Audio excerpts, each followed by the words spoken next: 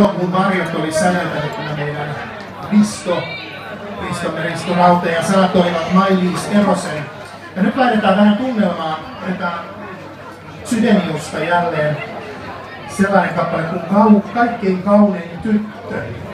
Sen teksti on tuolta 1500-1600-luvulta, tämmöisen kuin Luis de Congoran teksti, ja suomeksi sen on kääntänyt Aale Kynni, eli kaikkein kaunein tyttö.